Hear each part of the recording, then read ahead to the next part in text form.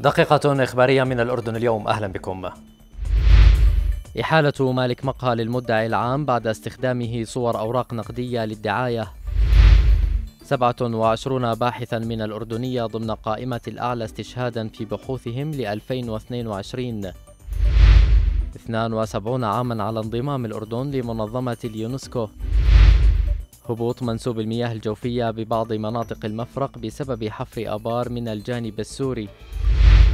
وزير الإدارة المحلية يوجه لعدم الموافقة نهائيا على شراء الآليات المستعملة.